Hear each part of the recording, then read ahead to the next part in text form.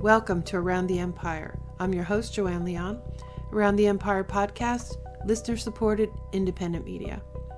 The website is aroundtheempire.com, and please pitch in if you can at patreon.com slash aroundtheempire, paypal.me slash aroundtheempirepod. Also, please subscribe to the YouTube channel, youtube.com slash aroundtheempire. Elijah Magnier returns to the show. We discuss the uprising and protests across Iraq that turned violent this week, with over 100 deaths and thousands of injuries.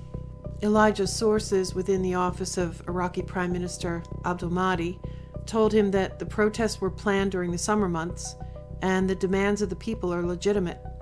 The current prime minister inherited a corrupt system and a country struggling to recover from devastating war, sanctions, billions in debt.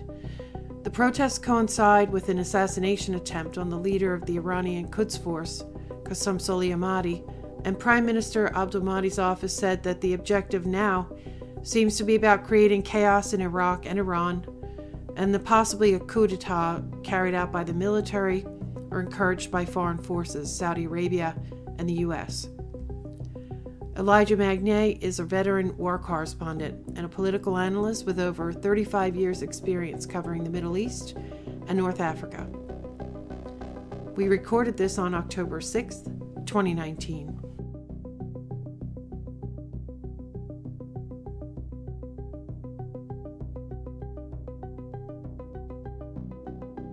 Elijah Magnier is here speaking to us from Europe. Hello, Elijah. Thanks so much for coming back on the show. Hello, Joanne. Thank you for having me. So, I read your recent article uh, about Iraq. I was um, not paying close enough attention. I didn't realize how how bad the the protests had gotten. So, I read your the great article. You give some background. Uh, also, for our listeners, you may want to go back and listen to an interview that Elijah did here on this podcast uh, it was episode 68, uh, titled Iraqi Politics and Stalled Idlib Operation. And in, in that episode, Elijah explained a lot about the 2018 election and the difficult time that the parties and the leaderships in Iraq had in deciding who was going to be prime minister and president and speaker. And that was the point in time when Muqtada al Sadr actually got his party got the most votes and it was a, a surprise and a sort of confused time. But the prime minister who was put in place, I think it was like a compromise type. Uh, I guess it's always a compromise in Iraq. And uh, the man in charge now is Adel Abdul Mahdi, right, Elijah? Yes, that's correct. So he's been in place for just a little over a year, or actually just about a year and now he's got a big problem. And Elijah compared it in his article, which I will also link here for listeners. So, for the past week, there have been basically vi- protests that have turned violent in a number of cities across Iraq. And there have been almost 100 people killed, and I'm not sure how many were injured. Few um, thousands, several thousands. Oh my gosh as if these people haven't been through enough. You know, uh, it's it's upsetting. But you call this the conditions similar to those that led to the Arab Spring. There's you know completely justified grievances. The economics are still bad. The reconstruction has not nearly enough has happened. And there's still severe corruption, as there has been for, for many years. So, you know, we see the reasons for these uprisings, but it also coincides with what looks like some foreign interference. So, Elijah, just to, I just kind of set that up a little bit. Hopefully, you can explain that. Um, maybe, actually, maybe take just a couple of minutes to explain who's in power right now in Iraq. I know this is a complicated thing, but for anybody who is not familiar with the uh, the current leadership and, the parties, maybe you could um, real quickly go over that. Well, yeah, that's a good that's a good start. So basically, let's I'll go back ex- very quickly on a time where uh, Nur Maliki was in power and he was uh, uh, uh renewed uh, in his mandate twice with the pressure from Iran to keep him in office uh, because he promised to ask the Americans to leave, and he did ask the Americans to leave, and they've left in 2011, ending the occupation of Iraq. After the Maliki, uh, there was a, a, struggle in Iraq, in Iraq uh, who is going to replace al-Maliki. Now, Iran wanted al-Maliki to remain in power. The uh, Grand Ayatollah Sistani, for the first time, writes a letter asking uh, to remove al-Maliki, not to allow him to stay in, in, power and to have a third mandate. So uh, we had Haider al-Abadi as a prime minister, and he was very pro-American. And he was not anti-Iran, but he did everything that the Americans wanted in Iraq, which is basically leading to serious discontent of the Iranians. And um, during Abadi's time, the corruption was at highest. Uh, also, Abadi has inherited corruption from previous government. We're starting really from Paul Bremer, who was the head of the first team, who started to see a lot of uh, money in the country and benefited from it, to all the government that came after, starting from Ayad Allawi, to Ibrahim Jafari, to uh, Nur al-Maliki, and to Haider Abadi.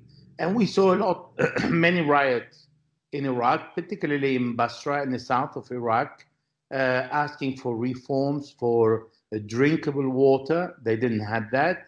For electricity, and they were deprived from electricity. And Basra is one of the wealthiest city. We're talking about the oil production. It's the highest oil production in Iraq comes from not Basra. And uh, after uh, Haider Abadi, uh, we saw the struggle between the head of the IRGC, Brigade, Brigadier General Qasem Soleimani, and the representative of President Trump, uh, Brett McGurk, in Iraq, both of them fighting to uh, promote a prime minister that fits more with their liking. And we saw that Brett McGurk and uh, Qasem Soleimani agreed on Abadi without really meeting to agree on it. Um, and this is where, sorry, not Abadi, uh, Abdel Mahdi, Adel Abdel Mahdi came to power. And Adel Abdel Mahdi, at the first beginning, he stated very clear his objectives that is related to Article 8 in the Iraqi constitution. He wants to have good relationship with all the neighboring countries, including where the United States of America. And the Americans uh, are in Iraq no longer as an occupation force, but under the request of the Prime Minister uh, Haider Abadi, who asked them to support him to fight ISIS. And before him uh, was the end of Nouri al-Maliki. So with the fight on ISIS, the Americans returned to the country, and they have between six to eight thousand uh, troops on the ground with a lot of privileges. Now, although Adel Abdel Mahdi, the uh, serving prime minister, uh, tried to create a balance, nevertheless, he upset the Americans on all sides. So, first of all, he did not dissolve Hashd Shabi, that is a, a part of the uh, Iraqi security forces. Uh, second, he um, opened the borders uh, with Syria, and the Americans asked him specifically not to do that and to keep the borders closed because they want to put pressure on the Syrian people to uh, starve them and to prevent uh, them from having any uh, basic life needs so they can blame uh, the president Bashar al Assad. And they also closed the border with Jordan, or they kept it open but prevented 184 goods from crossing from and into the country. So basically, they more or less closed the borders with uh, Syria. So, what upset the Americans even further, he uh, went to Russia to buy the uh, S 400 missiles. Or he Yeah. continued by signing a deal with a, a German company, Siemens, to uh, bring electricity to the country and to change essential spare part of the actual electricity system and to um, uh, make sure that they can use the Iraqi gas that so far is not used.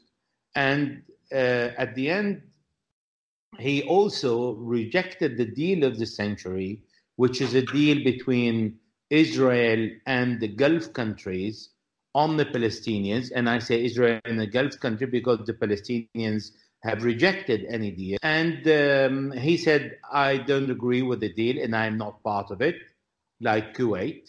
And uh, finally, he uh, mediated between Iran and Saudi Arabia to the request of Crown Prince Mohammed bin Salman, who asked him to go and talk to the Iranians and try to uh, de escalate the situation in the Gulf. Now, all that, what came on top of all that, when he came out a week ago saying Israel is responsible for bombing uh, five warehouses of the Iraqi security uh, forces, Hashd al-Shabi, and therefore he kept the right to retaliate against Israel. Now, all of that is not only uh, his doing and his decisions, but basically the US is considering Iraq no longer in the US orbit, is no longer fulfilling the US objectives in the Middle East, is not walking along with the Americans, is asking for uh, military support to train the forces, to keep supplying the weapons, to um, maintain a training, to maintain for maintenance of the weapons, and they have uh, uh, American jet, and they have a good military relationship between the two countries. But uh, Iraq is uh, showing its um, teeth against the US, saying, I'm not going to bite you, but I don't want you to impose on me and dictate on me your policy. So you're asking me to uh, block all commerce with Iran. I'm not going to do that. It's a neighboring country. We need Iran. Iran need us. I'm not going to block the goods on the population. And also, he's taking electricity from Iran. And the reason why he has managed to provide drinkable water and electricity to Basra and calm down the people of Basra, who were the first to start the uprising in 2018, is because he's providing them with electricity, drinkable water, and he made serious reforms in uh, Basra. Now, let us be clear Adil Abdul Mahdi has inherited a very corrupted system and cannot deal with that in one year. There are hundreds of billions of dollars that have been stolen from uh, the state. Uh, nothing has been done, very little has been done. And now he needs to do everything. And he's doing, he's trying. But projects need years to materialize. And the population cannot wait, rightly. They want their rights, they want job opportunities, they want to improve their lifestyle, and they cannot do that. And Adil Abdel Mahdi cannot really offer it because the government, the Iraq as a country, is under heavy debts. Mm. Right. So it's not that Mahdi is has changed his position and gone totally pro Iran. He is really just trying to strike deals that he feels are best for the people. And he's under, as you said, he's under a lot of debt. He's um, under a lot of pressure. Maybe I think unreasonable, particularly the sanctions. I mean, the maximum pressure campaign that John Bolton used to talk about, and now Pompeo's continuing. You know, they want Iran to cut off trade. They want Iraq to cut off trade with Iran, and as Elijah just explained, they basically they can't. They can't do that. And the electricity and the oil that they're taking, it, it's not like they're doing that to uh, create a luxury lifestyle or something. We're talking about basic needs, uh, electricity and water. So um, Yeah, I mean, he seems to be in a position, or basically, we have put him in a position that's impossible. If he if he does, like, what happens, Elijah, if if Abadi does go along with all of the the demands from the United States? Adel Abdel Mahdi cannot go along with the US demand for a simple reason. The majority of the country in Iraq, the 65% are Shia. And the Shia, they have a very important shrine in Iran to visit, and they visit on daily basis. And there are thousands of Iraqi traveling between Iraq and Syria, and sorry, and Iran to visit the shrine of Imam Riza in Iran. And there are tens of thousands of Iranians and Lebanese and other Middle Easterns and non Middle Eastern Shia who travel daily to Iraq to visit the shrines of Imams that are in Karbala, in Najaf, in uh, Baghdad, Kazimiya, in Samarra, and there are uh, uh, shrines of so many prophets in Iraq that for the for Muslims it's important in their ideology to go and visit these shrines. So Iraq cannot close the door on that. It is impossible.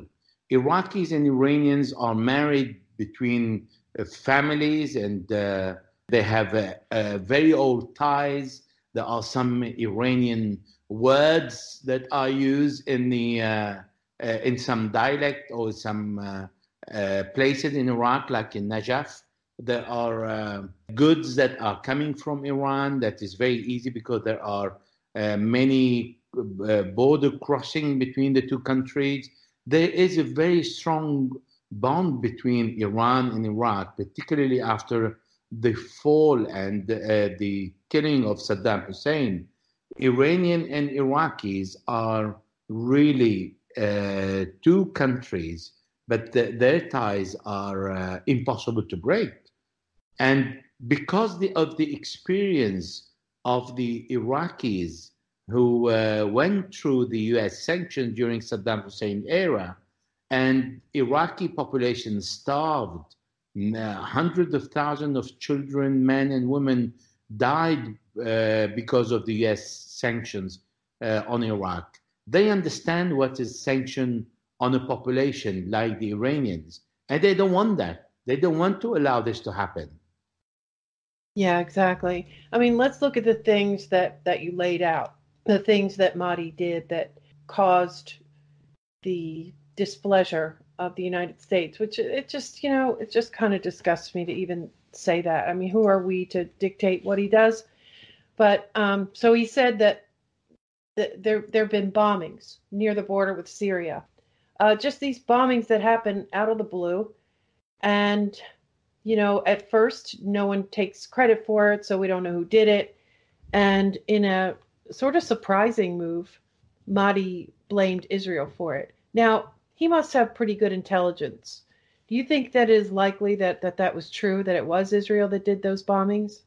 Well, first of all, Benjamin Netanyahu hinted to the bombing.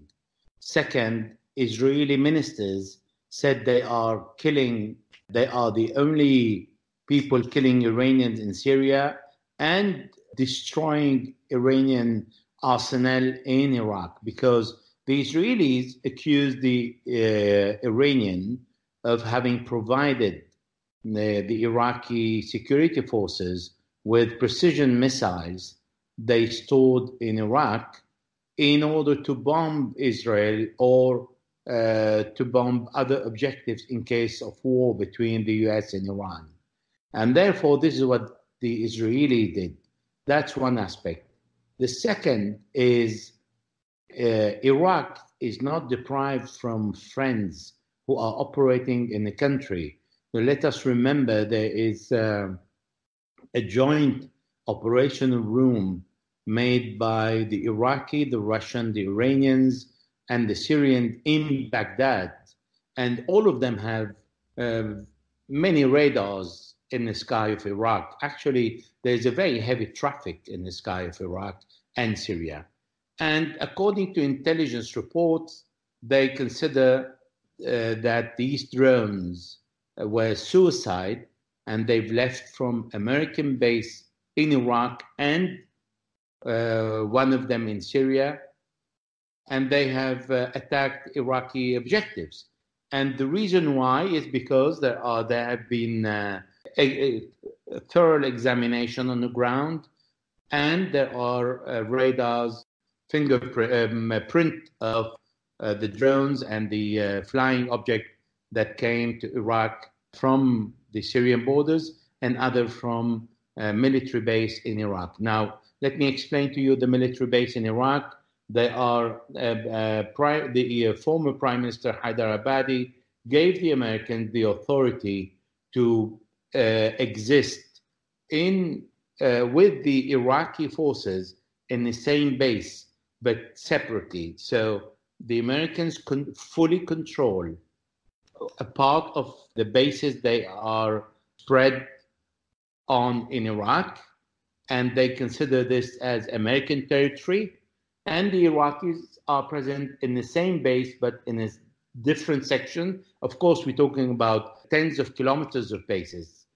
So there are huge military bases and huge air bases that are spread in Balad, in Anbar, uh, a bit everywhere in Iraq. There are six or seven where the Americans are present. So they have the full control of the area they are present on, and they can uh, really offer support to the Israelis willingly. Yeah, we talked, and again, we talked about this. Elijah explained this in our last interview, too, for anyone who's interested. Now, as far as opening up the crossing at, at is it Al Qaim um, between Iraq and Syria? Yes, that's correct. That's mainly for trade, true? Sorry? That is mainly for trade between Iraq and Syria? Yes, it means trade between Iraq and Syria. It means boosting the economy of both countries. It means a, a substantial revenue uh, for both countries. It means the meeting of families because there are tribes on both sides uh, who live in Syria and Iraq, and they are uh, families. It means uh, the return of a normal life to Syria and the return of a normal commerce to Iraq. Right. Now, the reconstruction, we're talking about basically the result, the fact that the infrastructure is either destroyed or old and poorly uh, functioning. This is something that's a result of number one, uh, U.S. sanctions on Iraq going all the way back to the ni- early 1990s, and of course the destruction from the war in starting in 2003. So it seems like there was a lot of time to do that reconstruction, and presumably NATO allied company or yeah NATO allied countries and their companies. Uh, we would prefer for them to be favored in these kind of projects. So why has that reconstruction like why haven't we helped and why haven't we made that happen already here in the us since we know that um, you know we say that we're trying to help the iraqi people so why has this reconstruction why is it so far behind and why hasn't it happened all the way till now because the priority went to uh, buying weapons and look after the security of the country now daesh was eliminated from every single iraqi city not from uh, pockets in Iraq and Syria uh, not long ago. And Iraq has invested heavily on weapons and on the war on terror.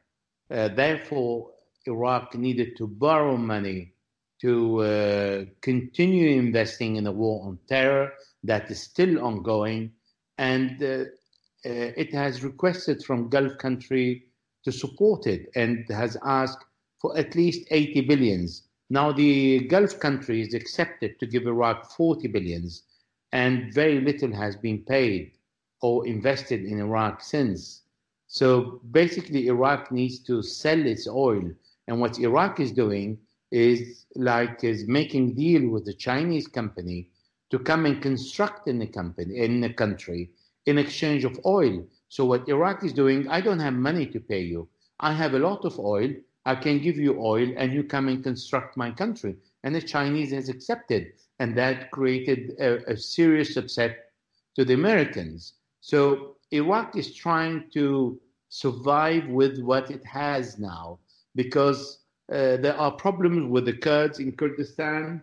Uh, there are problems with the oil income that comes from Kurdistan that is not, the revenue is not coming into the pocket of the central government in Baghdad. There are troops to be paid. There are the Peshmerga, 200,000. They say they have 200,000 on the list of payment that the government of Baghdad needs to pay. And there are hundreds of thousands of other security forces. There are institutions everywhere. There are uh, government buildings everywhere, municipality that needs to be fed and supported and paid for. There are hospitals that are uh, in need of uh, reconstruction, and all that is free of charge in Iraq. People don't pay money when they go to hospital. So all that needs a lot of money. The Americans are not stepping in to build Iraq because uh, President Trump is uh, asking the Middle Eastern to pay him money. He's not investing in the Middle East. He has no intention to pay any penny in the Middle East. Right. Yeah. I mean, I would ask my own government, well, then why didn't you help them uh, all these years with dominance in that country? Uh, now, granted, there was, you know, a lot of, there's been unrest, you know, there's been violence, there's been wars.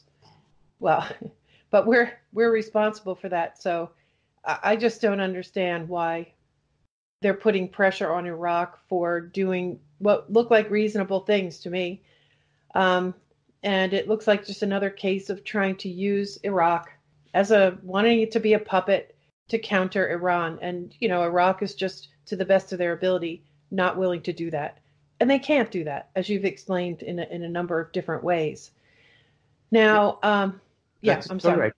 But what is very surprising, I was shocked to see all these uh, Saudi um, accounts on social media, right? Trying to fuel the uprising and uh, uh, asking uh, people to come in the street. And so we saw that uh, on one hand, Crown Prince Mohammed bin Salman is asking uh, Iraqi Prime Minister Adel Abdel Mahdi to go and mediate for him with Iran and to try to de-escalate the situation. And on the other hand, we see the electron, the Saudi Electronic Army all mobilized to attack Iraq and make sure that there's going to be another uprising. Now, the uprising can go nowhere because all the uh, all the main parties and organizations are represented in the parliament and they are in the government, in the cabinet of ministers. They are all there. You can't, what kind of regime change you want to impose on Iraq when everybody is represented and there's a, a shortage of personality who can take over unless the US has in mind some military uh, individual who would like who they would like to promote as a prime minister and um, uh, change the democracy that is uh, actually existing now in Iraq, one of the rare countries, to a dictatorship. Maybe Saddam Hussein was not bad after all. yeah, it sounds like another Saddam. Exactly, exactly. So this is what we are seeing if Adel Abdel Mahdi was elected by the parliament, that was elected by the population. I mean, look, it's the Muqtada Sadr. He has 53 members of the parliament. He doesn't represent 53, but he managed to get 53 because he made a, a clever move by bringing different parties from the communists, from Anbar, from uh, the north, from everywhere in Iraq. He's not going to get that again but he has managed, and today it's a fact that he represents, he has 53 members of the parliament. Uh, the Iraqis uh, have to deal with it because they have they are the one who elected him. So it is an elected state. It is not a person who is imposing himself on the country. And the only thing the, the population need to do today is to understand um, that the process is long, but to make sure that the government is fighting corruption, otherwise, the government needs to be removed. And this is exactly what the Grand Ayatollah Sayyid Ali Sistani said first, fight corruption seriously, create a committee that is independent, and move on and remove the people who are corrupted. And all that is going to take time. But at the end of the day, we see there are no friends of Iraq in the region. And we see the Iranian flag are, is, uh, are burned in Iraq, and Iranians are attacked, and we see Iranian passport shown on videos like it is uh, something very new. There are millions of Iranians in Iraq today, and there will be uh, several millions in in a week time when there would be a, a particular religious uh, event. So it is normal that you can find Iranians in every corner of Iraq. This is not new. Iran has supported Iraq uh, on the fight against ISIS, has supported the Kurds, and that's Masoud Barzani said it, when the Americans did not move in. And no one is saying anything against Saudi Arabia or the US in all the manifestation in Iraq. So we see everything is directed toward Iran, and we see the social media is directed to show only Iranian flags burned and Iranian passport in the streets of Iraq. It's like you are asking, you saying, oh, there are uh, French people in Brussels. But of course, there are French people in Brussels right. because they travel all the time. Right. Now, your sources within the Iraqi prime minister's office said that he basically sees a foreign hand manipulating these protests, and you compare it to, well, you at least compare the conditions to what happened before the Arab Spring. And now you're saying that um, in the media, or what we're seeing on the streets, is an anti Iran movement or portraying it as an anti Iran movement. Um, so do we do we suspect that this is another color revolution type thing? Are these I I think the protests, I mean it's always complicated. There are organic protests. There are plenty of reasons to protest. But do we see some manipulation here? Well, the prime minister believes uh, there is a serious manipulation. First, because there are 16 security forces who have been killed by bullets. Uh, second, because uh, he sees on social media how how the uh, Saudi electronic army is moving to s- support the uprising. I mean, uh, around 80% of the hashtag Iraq is uprising uh, come from Saudi Arabia. And now suddenly the Saudis are in love with the Iraqis, who they have always despised and uh, attacked and now they feel they have to support the Iraqi uprising, and also because of the series of events where Iraq took unpopular decisions to the Saudi and to the Americans. And last is because Iraq is not closing the doors on Iran. And today, Iran is the enemy in the Middle East and for the Americans. So, therefore, Iraq is not considered Iran as an enemy, but as a neighboring country, exactly as Saudi Arabia, and that is not uh, pleasing neither the Americans nor the Saudis.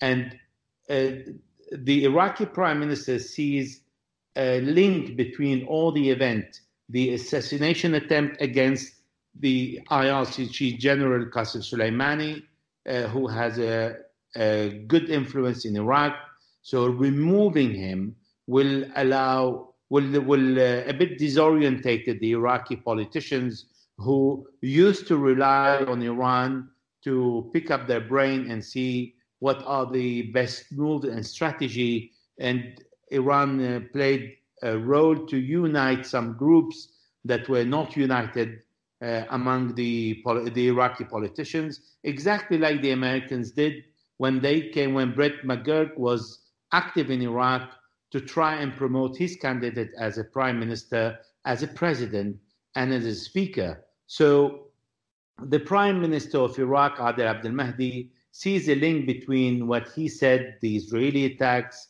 the Americans' uh, discontent that the American uh, diplomats came to him and told him they are not happy about what he's doing, particularly with Iran, and um, see the Saudi behavior. And according to his view, all that is linked and cannot be uh, detached. There cannot be uh, single events. They are all linked together with the event that's happening on the ground. Fortunately, there are no leaders yet on the ground, but social media is a good organizer. Yeah, um, Patrick Cockburn mentioned that. He said that he said that the whole thing was triggered by the riot police, and I'll just read a little quote. He said the riot police, who have a bad reputation in Iraq, opened fire with rubber bullets, stun grenades, and eventually live rounds. Soon, a video was flashing around social media of the protesters, mostly under 20, being attacked by the police and hosed with hot water. It was this incident which turned a small scale protest into mass demonstrations, which may bring down the government of the Prime Minister. One of the strengths of the protest movement is that it has no leaders, but is almost spontaneous. But of course, this also, um, he mentions that this also gives uh, Mahdi no one to negotiate with. Now, Muqtada al Sadr is a, for me, a confusing figure. As much as I've learned about him, I still don't understand the guy. Now, are these the people on the streets? Are they? Is is that his um, faction? He's known for uh, having the ability to, you know, cause these uprisings. How much? Eh, how much of a role is he playing in this? Um, eh, for your own peace of mind, I don't think Muqtada understand Muqtada behavior. So I know Muqtada very well, and uh, I met him in many occasions, and I interacted with him uh, so many times during my presence in Iraq and my trips to Iraq, and I have a good access to his mind. I think Muqtada Sadr's behavior is typical and hasn't changed since 2003 until today. Muqtada Sadr rides the wave and he comes out and he tries to adopt what is workable and what is uh, he thinks is going to give him some popularity. It's not working now because he went exactly against what the Marja'iyya said. The Marja'iyya and Najaf said the members of the parliament should assume their responsibilities, and particularly the biggest coalition in the parliament. Now, the biggest coalition in the parliament is him and the other Shia groups, and he has suspended his activity, the activity of the mem- of his member of the parliament. That doesn't go. He's retrieving from assuming his own responsibility. That's one. Two, it, it, the, those who are burning Iranian flags in Iraq are, above all, Shia who are uh, under Muqtada Sadr because he taught him, taught them to attack the Iranians in every single demonstration because he hates what Iran did to him and he considers Iran is responsible for splitting his group in different parts. Therefore, he goes to Iran and he attacks Iran. He goes to Saudi Arabia and nobody understands what he wants. I know when he did the visit to Saudi Arabia and Kuwait, and I have feedback from the people who were there that nobody understood what he wants. So, okay. therefore, uh, what Muqtada is doing today, he is riding the wave of the protester, and he's saying there is a corruption, well, you people are in the, in the parliament, then ask them to do something about it.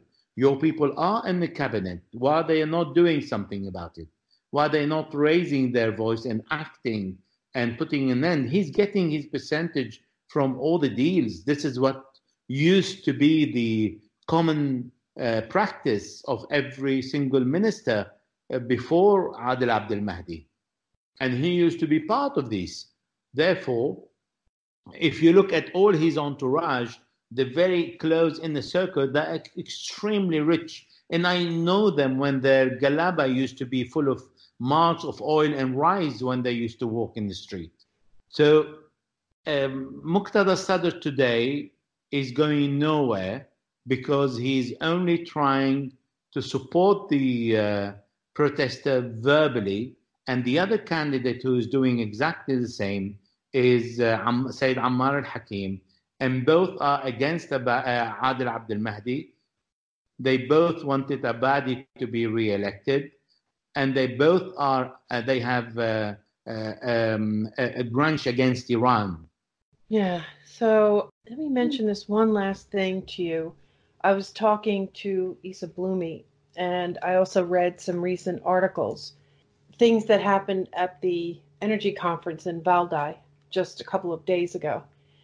The Saudi minister, you know, stood up and announced that the Saudis are back to full capacity. They're exporting, you know, they're recovered uh, from the attack and they're now exporting the same amount of oil as they did before. But Isa Blumi said that they're actually getting oil from Iraq and, you know, possibly to maybe they're really not back up to capacity, but they're relying on this oil from Iraq to um, bring their export numbers back up.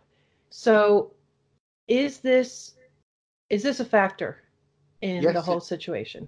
Yes, it is. Iraq is supplying Saudi Arabia with oil, and Isa Blumi is right in what he said. He's an excellent uh, academic and he's a good analyst, particularly on Yemen, and he follows the Middle East very closely. And um, uh, Saudi Arabia will need months to return to compensate the uh, failure of production of 5.7 million barrel per day due to the recent attack, drone and missile attack.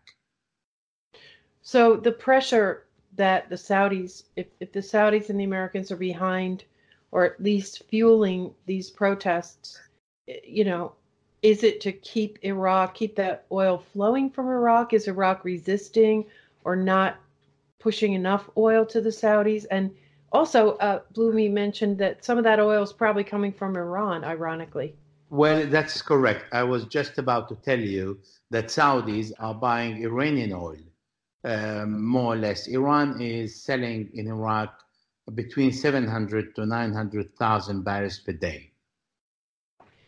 Okay, this is it's hard. It's hard to understand what what more Iraq is supposed to do in order to you know stop.